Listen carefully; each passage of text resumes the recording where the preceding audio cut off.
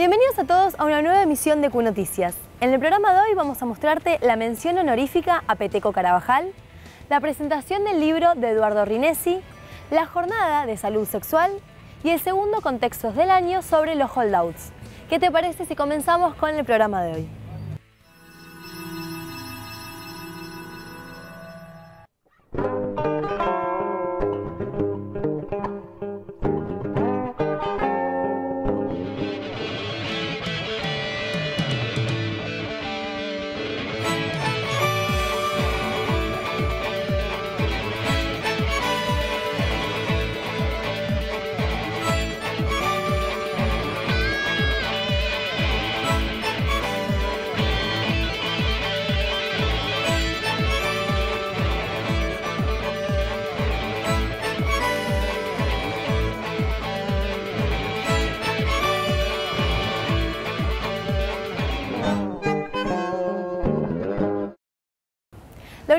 Nacional de Quilmes le otorgó una mención honorífica a Carlos Oscar Carabajal Correa, conocido como Peteco, por su aporte relevante a la comunidad local, nacional y regional.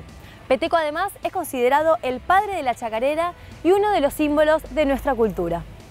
Conocemos al folclore nacional y nos pareció que, que Peteco era un genuino representante del folclore en, el país en la Argentina y en el mundo y por eso lo seleccionamos, lo propusimos al Consejo Superior y el Consejo Superior aprobó esta propuesta por unanimidad. La verdad que para nosotros ver reflejados en los artistas populares la, los intereses de la universidad es muy importante, Peteco además es un defensor un defensor de la actividad del Estado, del Estado como un promotor de la cultura y de la educación, y, esa coincidencia eh, ideológica que tenemos nos hace estar todavía más orgullosos de tenerlo aquí. Es un orgullo, una alegría y lo, lo recibo así, de esa manera, eh, en un momento también especial de mi vida, donde eh, estoy ya empezando a recapitular cosas y a,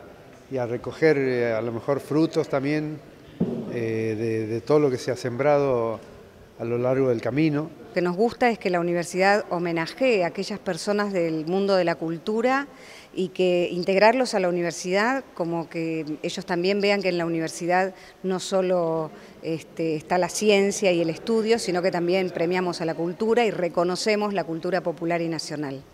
Y lo comparto con, primero con, mi familia, con todos mis compañeros, porque eh, que yo reciba este, esta distinción eh, es porque he andado con muchos, he andado con muchos, no es un mérito propio, sino que todo lo he construido con, con compañeros. Entonces eh, yo estoy representando en este momento a, muchos y con la provincia, con mi provincia, Santiago del Estero.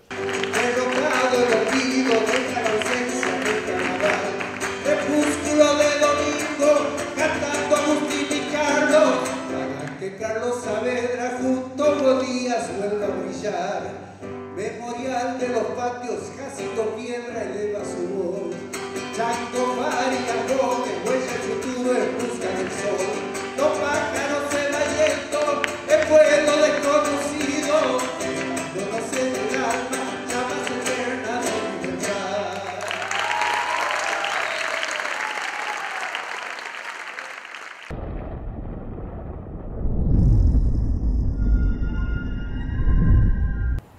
Eduardo Rinesi visitó nuestra universidad para presentar su libro Filosofía y Política de la Universidad, donde se plantean los nuevos desafíos y las nuevas responsabilidades de las universidades de nuestro país relacionado con las fuertes transformaciones sociales con las que convivimos. Una gran alegría tenerlo Eduardo aquí, es un amigo además de un académico de Fuste y un pensador de la universidad muy interesante. Eduardo siempre menciona la importancia de considerar la educación superior como un derecho eh, sumado a otras reflexiones acerca de cómo desenvolver, cómo hacer eh, que ese derecho sea efectivo. Creo que trato de pensar un poquito las transformaciones ocurridas en el último tiempo en la Argentina, sobre todo alrededor de nuestra idea sobre universidad. Un conjunto de cosas que hoy pensamos, a diferencia de cómo lo hacíamos tiempo atrás, como derechos humanos universales que nos empieza a escandalizar que no puedan serlo de todo el mundo. Todo trabajo, todo libro es una obra inacabada y es un producto que lleva más y que ayuda más a la reflexión, al debate, eh, a la generación de nuevas ideas más complejas todavía que las que uno plantea en el libro a raíz de las discusiones que ese libro eh, genera. La universidad es una institución tradicionalmente poco igualitaria y poco universalista. Y me parece que es un desafío interesante preguntarnos cómo en una institución que viene haciendo eso tan sistemáticamente desde hace tanto tiempo, producimos la torsión política, conceptual, reflexiva necesaria para que hoy las universidades se conviertan en máquinas de democratizar y no en máquinas de fabricar elites.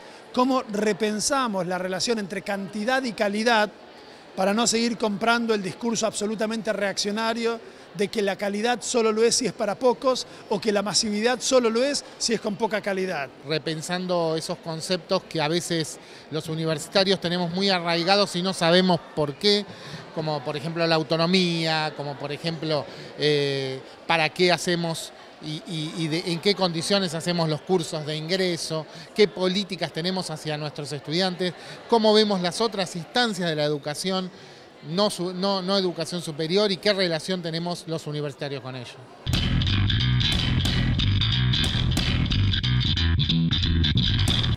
La División de Salud y Discapacidad, en conjunto con las Consejerías de Salud Sexual, organizaron la primera jornada de salud sexual. Varios especialistas participaron de esta charla abierta que buscó romper las barreras de acceso con una mirada interuniversitaria. La jornada de salud sexual viene llevándose a cabo a través de los diferentes talleres durante el año que hemos articulado con la gente de Ideal, a través de un convenio con la Universidad Nacional de Quilmes, a través de una consejería. Surgió la idea de hacer una jornada, digamos, que tenga temáticas que por ahí no tocamos en las capacitaciones y convocar a referentes, eh, tanto a nivel nacional como local, eh, que trabajan la temática y como son expertos en, los temas, eh, como para darle una lógica de, un poco un plus, digamos, a, la capacitación y poder eh, lograr una mejora en la calidad del de la formación de los alumnos que estamos eh, capacitando. Nosotros queremos dar operatividad a las personas. Aquel que se acerca a un hospital necesita respuestas y infectología y el hospital de Quilmes trabaja para dar eso, darle respuestas rápidas a las personas que la necesitan. Para nosotros es muy importante participar, no solamente para contar lo que estamos haciendo, sino también para debatir y para aprender de necesidades que por ahí eh, conozcan, digamos, desde el territorio y que muchas veces en estas discusiones y en esta articulación con la comunidad eh, podemos visibilizar de mejor manera. La idea es poder llevar eh, las diferentes áreas de trabajo a nivel nacional, provincial y municipal que estamos trabajando sobre la temática de sexualidad y género. Comprometer también a los estudiantes a este tipo de espacios y contarles un poco del proyecto de consejerías que, aborda tanto el Hospital de Quilmes como la universidad y espacios de la comunidad en general. Es la unión de las personas que participamos porque ahí está la pertenencia y el compromiso de los que concurren. Y con la pertenencia y el compromiso se pueden generar ámbitos diferentes de discusión, de información, intercambiar ideas y generar nuevos proyectos que vayan dando mejor calidad.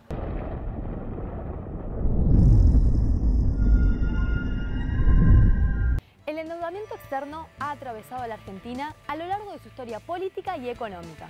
Sin dudas es un tema vigente en la actualidad de nuestro país, ya que influye de manera directa en la sociedad y en su día a día. Por este motivo, mediante el testimonio de diferentes especialistas, buscamos la mirada a corto y largo plazo de la economía argentina. De esto se trata este nuevo envío de contextos.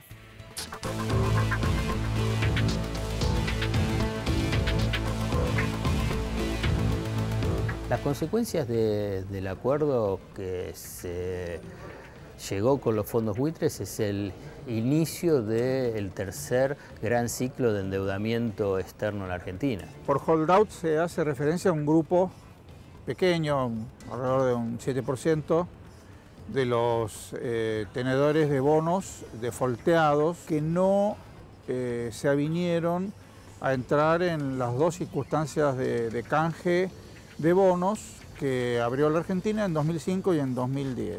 Su objeto de negocios es precisamente eh, comprar deudas de países soberanos vulnerables o de empresas vulnerables para iniciar juicios, para no ganar solamente el 100% de lo que sería el capital más los intereses, sino lo que serían los intereses punitorios, las costas judiciales y tener ganancias extraordinarias, comprando previamente los bonos a remate, ¿no? a precio ganga. Jugándose a un litigio judicial en el que pudieran eh, sacar ventaja y es lo que el juez Griesa eh, les permitió. Los grandes organismos internacionales, los grandes acreedores, logran imponer sus criterios. En ese sentido está claro, hay una clara correspondencia entre endeudamiento y dependencia de las políticas económicas. Logrando modificaciones de leyes para que eh, los jueces puedan realizar interpretaciones totalmente extravagantes de los contratos que tienen los acreedores con los deudores, la Argentina con sus deudores. La historia más antigua de, esa, de esta situación tiene que ver efectivamente con la economía de endeudamiento en el que la dictadura cívico-militar que irrumpió en la Argentina en 1976 fue construyendo a lo largo de su periodo hasta 1983. Cada vez que se privilegió y se pusieron en marcha mecanismos de deuda externa, y se privilegia el pago de la deuda externa por sobre la deuda interna, los que terminamos pagando siempre somos los trabajadores. Eh, sucedió en los años 90 y nada indica de que esta vez no se va a repetir lo mismo cuando se aplican políticas del mismo carácter. Lo hemos vivido muy claramente en el año 2000 y 2001 con las visitas del fondo, en donde la posibilidad de desarrollar políticas económicas estaban totalmente supeditadas a lo que establecía eh, el Fondo Monetario. Eso es lo que lleva finalmente a la crisis de 2001-2002 y a la decisión del presidente de ese momento, Adolfo Rodríguez, de declarar la moratoria de esa deuda. Lo que viene después es este proceso de canje voluntario que mencionábamos y que fue exitoso para el 93% de los bonistas, pero que dejó este, eh, afuera, digamos, por propia voluntad, porque parte de su propia estrategia de negocios a los llamados fondos buitres, que son los que a partir de ahí siguieron litigando contra la Argentina. Si se logra un porcentaje mayoritario de acreedores que aceptan un, acuerdo este, con quita de deuda y financiamiento del pago, etc., los demás están obligados a, aceptar el mismo tratamiento. A nivel internacional esto no existía eh, y eso permitió precisamente el fallo de Griesa. El gobierno de Cristina Fernández de Kirchner en términos globales planteaba, en términos políticos, mantener la soberanía nacional en términos de las decisiones en materia financiera. A nivel internacional, tener un apoyo internacional abrumador. Entonces, Naciones Unidas adoptó una resolución en el sentido de que eh, hubiera una cláusula semejante a esta que acabo de mencionar, que está vigente para el sector privado, para el caso de deuda pública. El anterior gobierno tuvo en principio una actitud de no reconocer la deuda y después progresivamente comenzó a, ceder. A nivel de negociación específica, el gobierno de Cristina Fernández de Kirchner ha negociado, siempre ha negociado y siempre ha presentado oferta de negociación.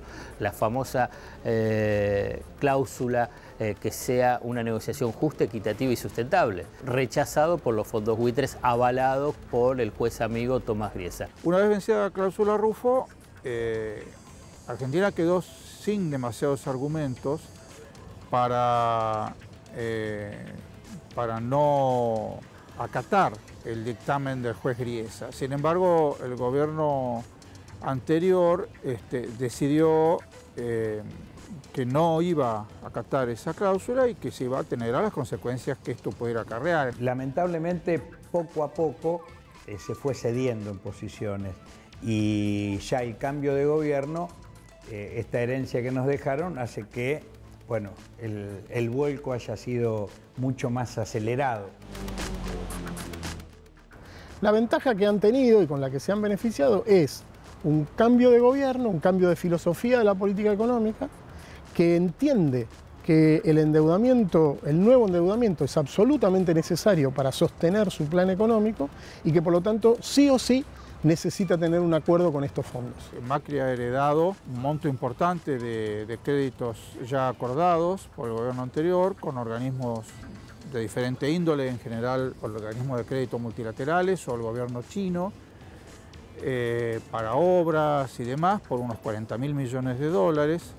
que le daban un colchón a este gobierno para una negociación eh, más digna de la que se ha encarado, en donde se les ha terminado reconociendo más de lo que pedían eh, los buitres. Era claro que había que realizar algún tipo de acuerdo, de negociación para salir de esta situación eh, que afectaba a la economía argentina y la capacidad de pago a los este, acreedores. Creo que había que haber negociado con más fuerza y había que establecer sobre todo criterios de pago más posibles para la Argentina y no generar un nuevo endeudamiento solo para pagar. La situación de estas políticas económicas se asientan sobre la transferencia de ingresos de los trabajadores y de los sectores populares en beneficio de los grandes grupos económicos y del pago de la deuda externa. Ganan ellos, unos pocos privilegiados, y perdemos la mayoría de los argentinos.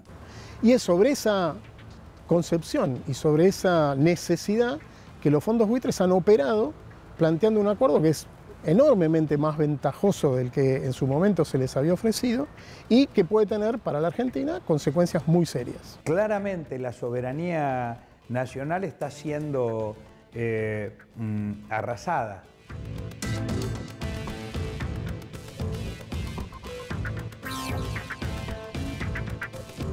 Independientemente de los candidatos, de la figura, del presidente o de la presidenta, lo que importa son discutir no las caras, sino las políticas que se representan y a qué intereses se representan y se favorecen unos y se perjudican otros. Esto nos deja, como digo, en una situación de debilidad. Hemos mostrado una, situación de vulnerabilidad que no, que no es buena consejera para, para futuras negociaciones. Es dramático para otros países endeudados. Pone una situación muy, muy vulnerable a los países periféricos con, eh, con endeudamiento externo. Nosotros creemos que no se va a poder recuperar plenamente la soberanía nacional si no logramos mecanismos de mayor eh, y de más plena soberanía popular. Creo que abre un nuevo escenario para una nueva etapa de endeudamiento que sabemos que en la historia argentina ha sido siempre eh, perjudicial para los intereses de la Argentina y para las posibilidades de desarrollo económico y sobre todo para la sociedad que hemos tenido que ser los que han pagado estas deudas. En el largo plazo, lo que puede ser más problemático es una estrategia de endeudamiento masivo por parte del gobierno nacional. Digamos, el gobierno nacional ha planteado que parte de su estrategia económica pasa por reinsertarse en el sistema financiero internacional, por reinsertarse activamente en los mecanismos de toma de deuda. Los males de la democracia se tienen que resolver con más democracia, porque está claro de que estas instituciones, así como están, no alcanzan a expresar las necesidades del pueblo argentino. Cuando decimos que hay que hacer un Estado distinto, decimos que hay que encontrar mecanismos de participación en el control social por parte del pueblo. La universidad tiene la responsabilidad de intervenir en estos espacios de debate público, tiene que ser un espacio para eh, que nuestros docentes, nuestros investigadores, nuestros especialistas puedan llevar su voz y generar entonces el debate que la sociedad necesita para saber qué es lo que está ocurriendo con las decisiones que se están tomando a nivel del gobierno y del Congreso.